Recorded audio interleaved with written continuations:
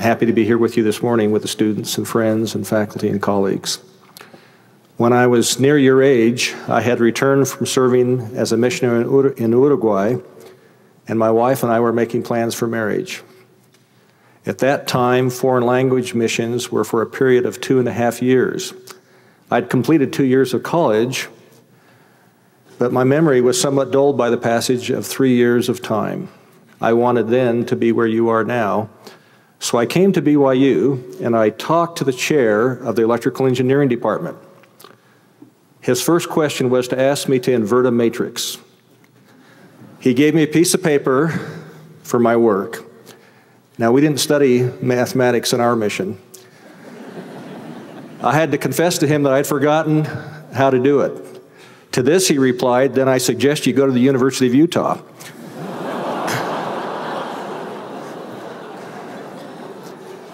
And so that's how I got there. That same question is not asked of students today, nor have I ever heard it asked of a prospective faculty member. Students today and the faculty possess remarkable talent. A recently faculty candidate on his visit here observed that the students all possessed five talents. Of course, he was referring to the parable of the talents found in Matthew chapter 25. For the kingdom of heaven is as a man traveling into a far country, who called, on, called his servants and delivered unto them his goods. And unto one he gave five talents, to another two, and to another one. To every man according to his several ability. It's an interesting phrase, to his several ability. And straightway took his journey. Then he that had received the five talents went and traded the same and made them other five talents. And likewise, he that had received two, he also gained other two. But he that had received one went and digged in the earth and hid his Lord's money. To each of the first two, the Lord said, Well done, thou good and faithful servant. Thou hast been faithful over a few things. I will make thee ruler over many things. Enter thou into the joy of the Lord. But unto the last servant he declared, I will take therefore the talent from you and give it unto, the, unto him that, who hath ten talents. Many years ago, explorers discovered the remains of a Roman ship that sunk around the year 50 AD. Inside, they found what they called copper blisters, or copper blister cakes. I brought one this morning so you get an idea of what it is. Many of you thought I was too old to hold it up, and you're nearly right. These cakes were made of 99.2% pure copper, sufficiently pure to be used as an alloy, but not pure enough to be used for copper artifacts. So they required, if you're going to use them, additional manufacturing. In other words, these copper cakes had to be refined before they became useful. Because the discoverers could not see much value in these blister cakes, this particular one was discarded into the trash.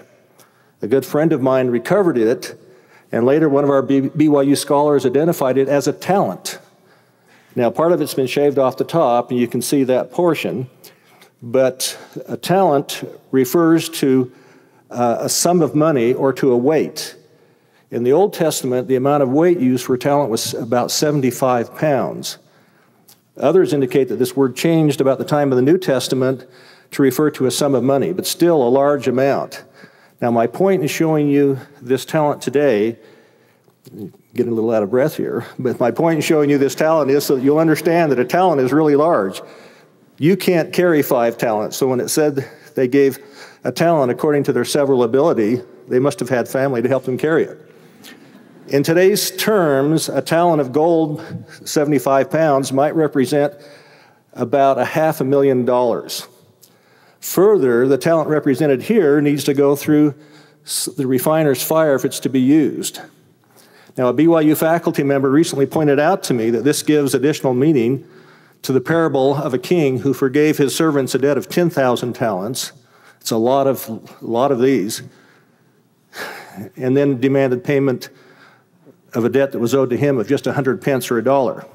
Now, 10,000 talents would be what, about $5, mil- $5 billion? Catch my breath here. what is expected then from you who are blessed with many talents? In Matthew chapter 5, verse 16, we read, Let your light so shine before men that they may see your good works and glorify your Father which is in heaven. President Hinckley, in his book Standing for Something, states, It is not enough just to live, just to survive. It is incumbent on each of us to equip ourselves to do something worthwhile in society to acquire more and more light so that our personal light can help illuminate a darkened world. And this is made possible through learning, through educating ourselves, through progressing and growing in both mind and spirit. As I was growing up, my mother insisted that I read regularly. She would take me down to the public library and check out about a one foot length of books from the library shelves. She typically chose biographies of great men and women. Sometimes it was painful to stay inside when I would rather be doing other things. But then each day I would see my mother reading and noted that she finished a book almost every day.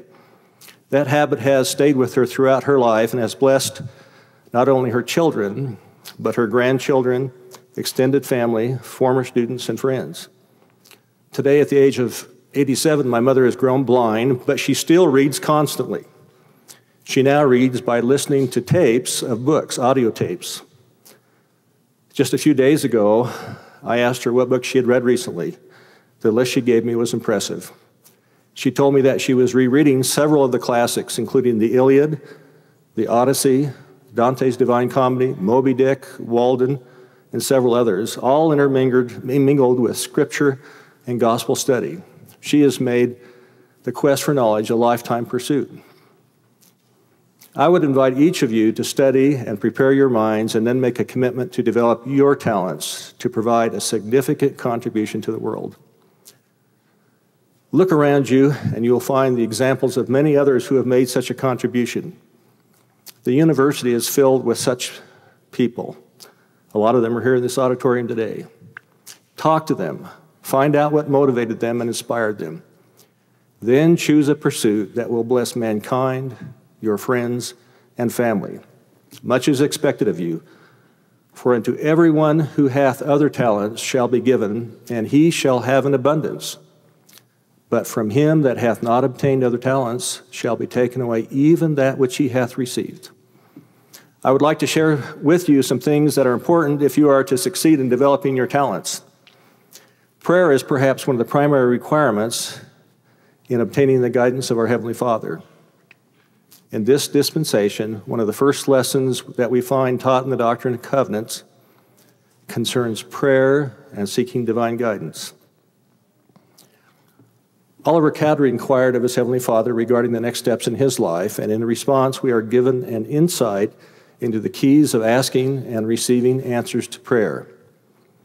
For asking, he was told, I say unto you that as assuredly as the Lord liveth, who is your God and Redeemer, even so surely shall you receive a knowledge of whatsoever things ye shall ask in faith, with an honest heart, believing that you shall receive. And then the keys for receiving. I will tell you in your mind, so first in your mind, and in your heart by the Holy Ghost, which shall come upon you and dwell in your heart. You will all recall that Oliver failed in his attempts to translate because he did not understand two additional principles for acquiring knowledge. First, the requirement to study it out in our minds, and then we will either feel a burning in our bosoms if it is right, or a stupor of thought if it's wrong. Now, the answer to prayer does not always come quickly. Often answers come over long periods of time and in ways we do not anticipate. Some prayers may be answered immediately if we have the courage to ask them with an honest heart, faith, and believing that we shall receive. One such prayer is the one offered when we humbly and sincerely ask our Father in heaven what we need to repent of. The answer will come quickly, but it takes humility, courage, and resolve to utter this kind of prayer. Similarly, the Lord will ask your prayers about setting goals in your life and developing your talents. I have spoken with many students at BYU who have obtained such direction in their life. My sheep hear my voice, and I know them, and they follow me. Another important issue that you will face in your journey towards developing your talents is the choice of an eternal companion, colleagues, and friends. Of singular importance is the choice of an eternal companion. At one time, I regularly interviewed couples who had found that right one and were ready to be married. You are all likely familiar with the questions that are asked in these interviews, but to the set of prescribed topics, I added three questions. First, I asked each person how long it had taken them to know that their fiance was the one. Most had earnestly prayed about their feelings towards their companion. Their answer startled me somewhat, but the responses were remarkably similar. The average time they typically indicated was about two and a half weeks from the time they started dating. I thought that was pretty, pretty quick. Then came my second question How long did you wait before you expressed your feelings to your fiance? Again, the responses were surprising. The average time to share their feeling from the time they first started dating was about six weeks. Now, for the third question, I asked them about how long they had waited before they were going to get married. This time the answers varied greatly, but generally they chose the semester break closest to six months.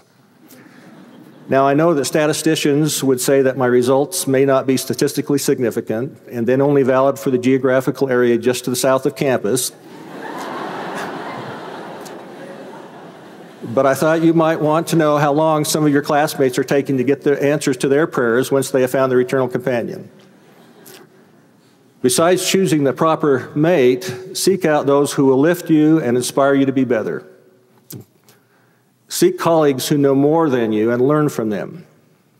Remember that in the parable of the talent, each servant was given, given talents according to their several ability. Learn from the talents of others.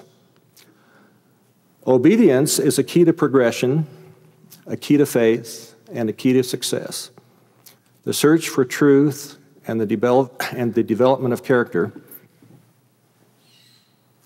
Just get a little bit of water here to help. And the development of character go hand in hand. Shakespeare said, To thine own self be true, and it must follow as the night the day Thou canst not then be false to any man. Nephi tells us, I will go and do the things which the Lord hath commanded, for I know that the Lord giveth no commandments unto the children of men, save he shall prepare a way for them, that they may accomplish the thing which he commandeth them. Years ago, when I first came to BYU, I met a student from Korea. He had set lofty goals for himself, but he was rather poor and struggling to get through school but dedicated to the gospel. I suppose there are several of you in that same category today. He was determined that he was going to get an education and then return to bless his homeland. I worked with him and even went to his home to tutor him. He was a hard worker and was obedient in everything he was asked to do. Finally, after much effort, he graduated. His ultimate goal was to get his PhD, but circumstances did not permit. He worked in this local area for some time, and then I lost track of him. Recently, nearly 25 years later, one of my colleagues brought a visitor to my office and introduced him as the executive vice president of one of the largest electronic firms in Korea. I immediately recognized him, and all of our years of separation faded away. One of the blessings that can come from being true to the gospel is the establishment of lasting and tender friendships. As my former student and I talked, we found that our friendship had not changed. When one remains true to the gospel, our rendezvous with friends will be that way, as it was with Alma and the sons of Mosiah. Finally, I would like to counsel you to remember who you are spiritual sons and daughters of your Father in heaven. If you are true to this divine heritage, your Father will bless you. About three years ago, our college was scheduled for an inspection by our professional accreditation group. Accreditation is a critical step for a college since it provides a certification that the graduates of academic programs meet certain standards of knowledge and practice in fields of study. As part of our accreditation, documentation is prepared covering all aspects of study. Exams, homework, Lecture outlines and the like are assembled for the scrutiny by the accreditation team. Students and faculty are interviewed and the facilities are inspected. Then, just prior to their visit, the team leader of our accreditation group called and indicated that his team would be arriving at BYU on Sunday and wanted to spend that day inspecting laboratories and classrooms and in interviewing the department chairs and the senior faculty. Since I was dean, I responded that Sunday was the Sabbath day and that we would all be involved in worship. Further, I told him that the classrooms and laboratories were used by students for worship on that day, so it wouldn't be possible for him to visit. he continued to press the issue and then let me know that the Sabbath day visit would be a requirement if we were to be accredited. Finally, an idea occurred to me. I responded that we would accommodate their visit if they would come in the middle of the day. I was sure that there would be a sacrament meeting in progress in the study area of the Clyde building, and that there would be ongoing classes in the auditorium, classrooms, and laboratories. When the time for our visit arrived, our department chairs all presented themselves in their Sunday best. The accreditation team arrived in casual attire and were startled to see that all the young men had on white shirts and ties, and that all of the young women were wearing dresses. They also noticed that all of the students were better, better dressed than their team members. Our department chairs introduced themselves, and we split up to visit different areas of the college. I took the team leader to the doorway that enters the study area in the Clyde building. He stopped suddenly and peered through the door to see a young man giving a talk in sacrament meeting. He wouldn't go in, but listened intently for a while. Then he turned to me and observed that these students were worshiping.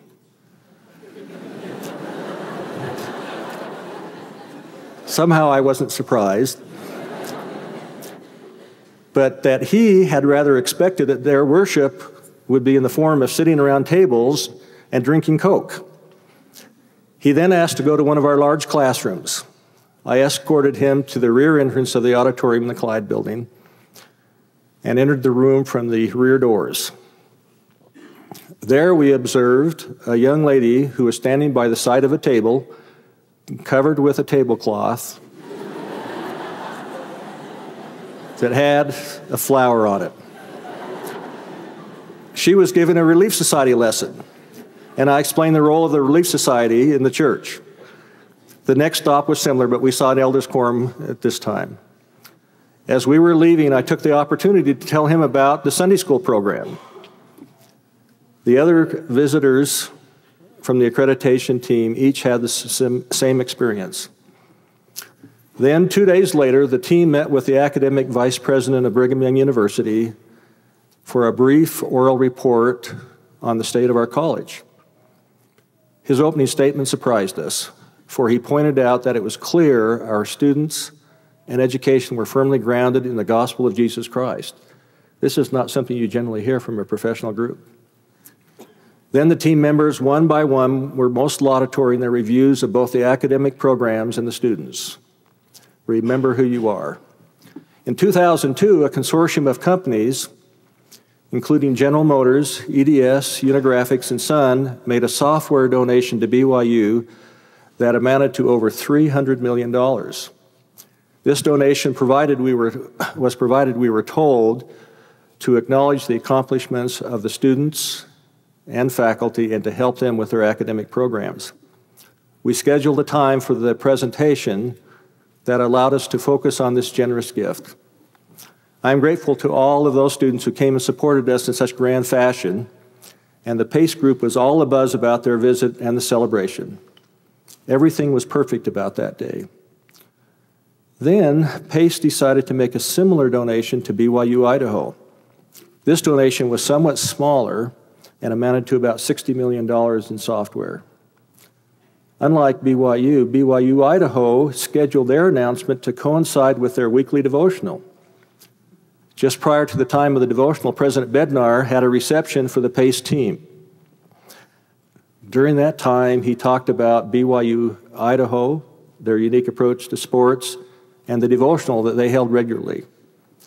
He explained that it was a custom at BYU Idaho, and I haven't been there except for this one time uh, during a devotional, but it was a custom for the students to hold up their scriptures at the beginning of the devotional to show that they all had them.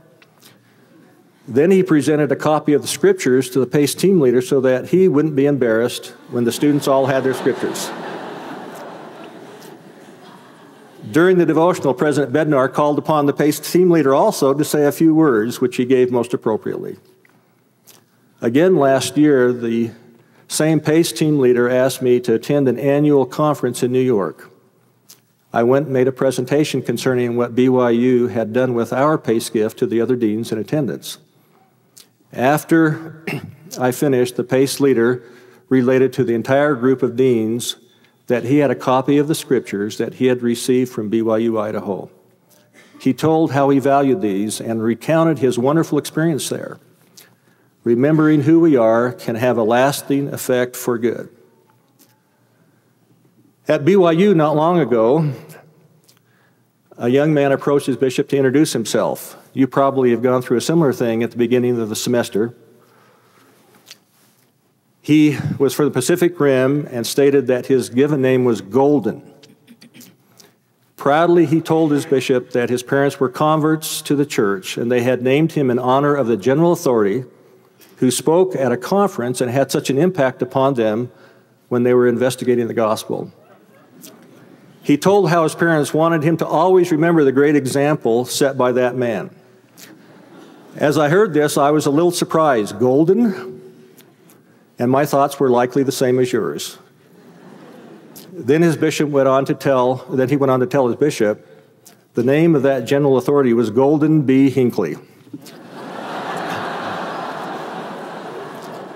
That name has served to him as a tender reminder both of what his parents expected of him and of his parents' humble origins. I would like to close with the invitation that President Hinckley gave to the women of the church and extend that same women same invitation to you today. I would invite you to rise to the great potential within you. I do not ask that you reach beyond your capacity. I hope you will not nag yourselves with thoughts of failure. I hope you will not try to set goals far beyond your capacity to achieve. I hope you will simply do what you can do in the best way you know how. If you do so, you will witness miracles come to pass. I share these thoughts with you and leave my testimony that I know the church is true. I wish you the best of blessings as you seek to develop your talents. And I say this in the name of Jesus Christ. Amen.